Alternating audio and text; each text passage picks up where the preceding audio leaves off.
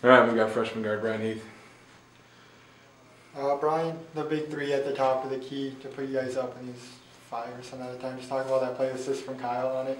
Yeah, uh, coach was. He's been telling me for the past I don't know how long shoot with confidence because I've been I haven't been shooting very well, and I think that was my mentality today is just shoot with confidence. They're gonna fall, and that one I shot with confidence and put it in. Kyle made a good pass. I mean, tell us that's how I want to do it.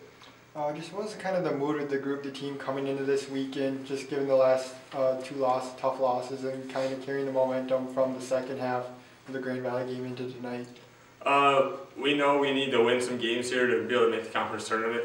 So we got to go out and play, and we can't play scared or uptight. We have to go out and play and feel loose. And I think that was our mentality: is just to have fun and go out and run and score some buckets and win.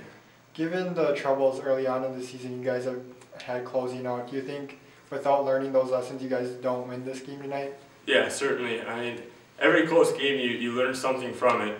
And I think the past ones that we've had, the I know the first couple we didn't close out and we ended up losing them. Uh, then we, we won one, then we won a second one, and then we won this one. I mean, that you learn from the old ones, and at the end, now you can you can win those games.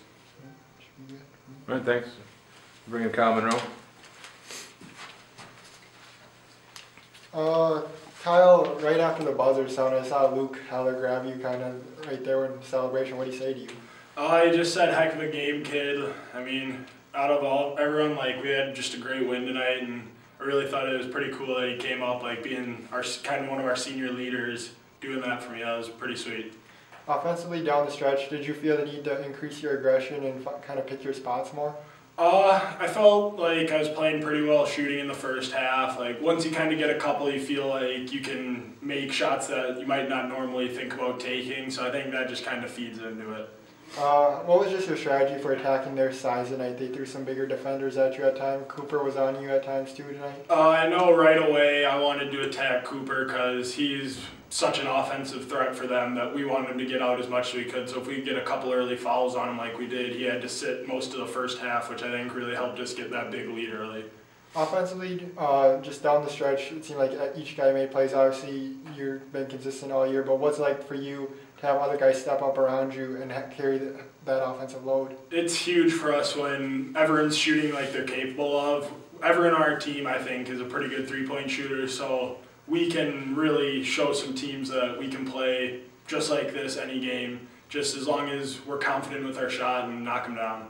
In that first half, you guys were on fire, probably one of your better halves of the season. Is that kind of the potential and ceiling of this team?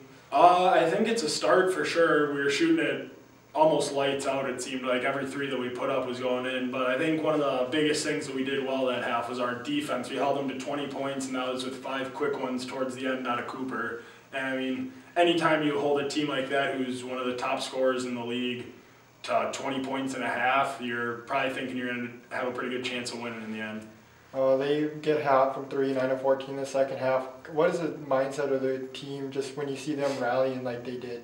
You know that there are always going to be runs in games. That's what basketball is. You'll get we'll go on 9-0 run, they'll get a 10-0 run. It's just you got to be able to stop them before they take the lead, and you got to just cut their momentum down as soon as you can.